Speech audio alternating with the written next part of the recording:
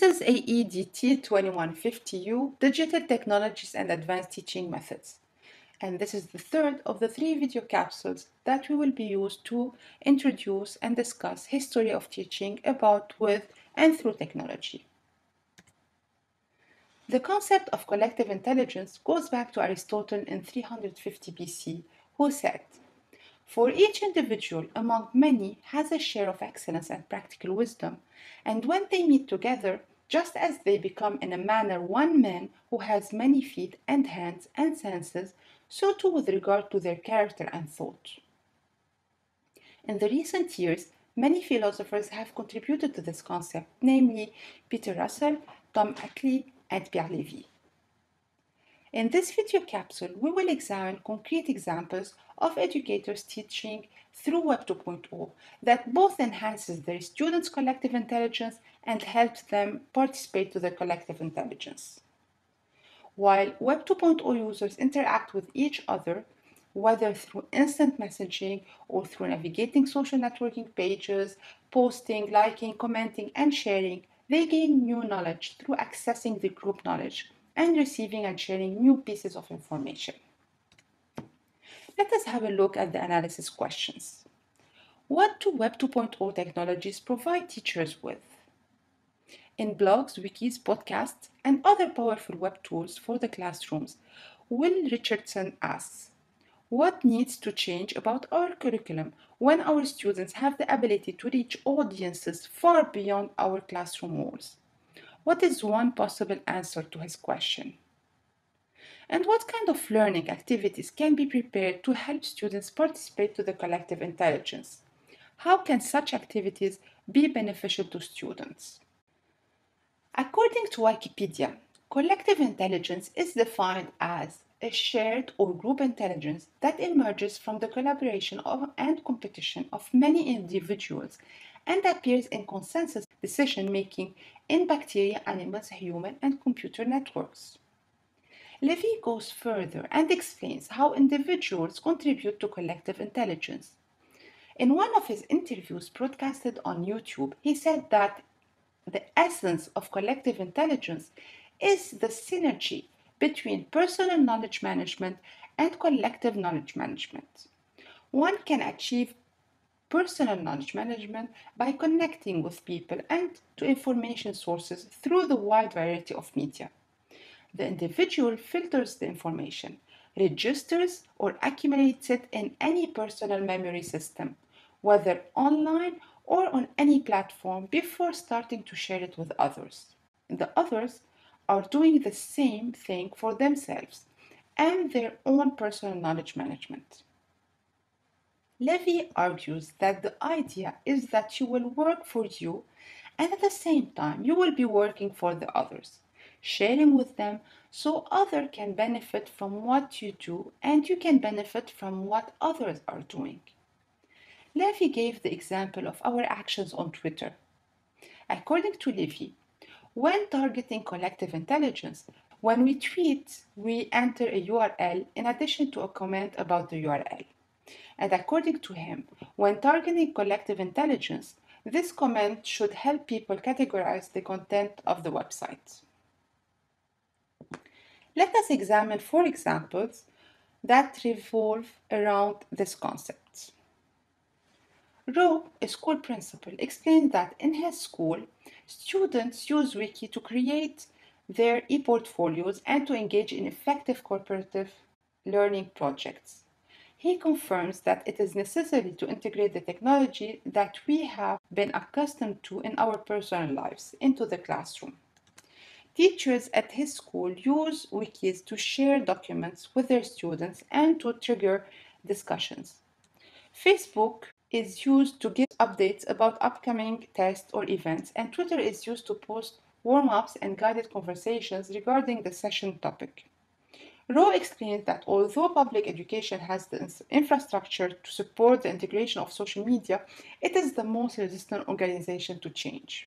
Our second example, Laura Rochette, a secondary level history teacher, implemented the use of blogs in her American history class. She noted that in addition to an overall improvement in quality, The use of the blog as an assignment demonstrated synthesis level cognitive activity from her students. In her experience, asking students to conduct their learning in the digital world meant asking students to write, upload images, and articulate the relationships between these images and the broader concept of the course. In turn, demonstrating that they can be thoughtful about the, the world around them. Our third example, Jennifer Hunt, an eighth grade language arts teacher of pre-advanced placement student, shares a similar story. She asks students to make personal connections to the text they read, to describe and discuss the issues that were raised in literature selections through social discourse. They engage in the discussion via wikis and other Web 2.0 tools in which they organized, discussed, and then presented their responses to the text and collaborated with others in their classrooms and beyond. Our fourth example, Michael Wesch, an an associate professor of culture anthropology at Kansas State University explained that the challenge is to create our learning environment to leverage this media environment we need to think of our learning environment as platforms for participation. And when students see these emerging tools come in, they don't see them simply things to entertain themselves with, which is fine, but they also see them as tools that can help them collaborate better to create something new. We want them to use these media as tools rather than these tools start using them. Wesch uses NetVibes to create his class platform of participation, which includes Facebook applications, Google News aggregator, RSS feed coming from his class wiki, Twitter stream where students could tweet to each other, Diigo feed to go on the web, tag things and share them with the class, and the video sharing and editing application. Wesch recounts an example of a student's collaboration through social media in his class. Once, before a test, he wrote on the class wiki page 40 words the students needed to know for the exam. And little he knew, in 24 hours, the 40 words became 11 pages of information where students expanded on every word, adding pictures, pictures and YouTube videos. Web 2.0 users are accessing through their interactions with others their social group's common knowledge learning from it, and contributing to its growth. They actively explore, discover, experiment, and play with the technology with no fear of consequences. They download media, files, create their own, and upload them. They are at the same time savvy consumers, manipulators, authors, producers, fans, and also natural critics. The question is now how to effectively and efficiently invest what is happening in Web 2.0 technologies into our educational system. From Skinner's learning machine to ITVs and then to Papert's logo and reaching all the affordances of the Web 2.0, the control over learning shifted drastically from the teacher as center of knowledge to the learner who can have access to the collective knowledge anywhere and anytime. When asked to describe how naturally learning occurs in Web 2.0, one student said, There are so many interesting things happening on Facebook. You scroll down, you see something interesting, you read about it, and then again, another interesting link. You click on it, and then more interesting facts. Also, you read them, reflect about them, and comment them. Synthesis questions. Based on the four examples described in this video and on your own experiences, explain how do teachers engage students by using Web 2.0 technologies.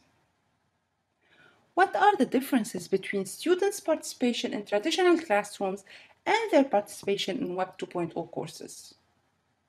What risks do teachers take when engaging in Web 2.0 technologies? and what risks do students face when they are using the Web 2.0 technologies.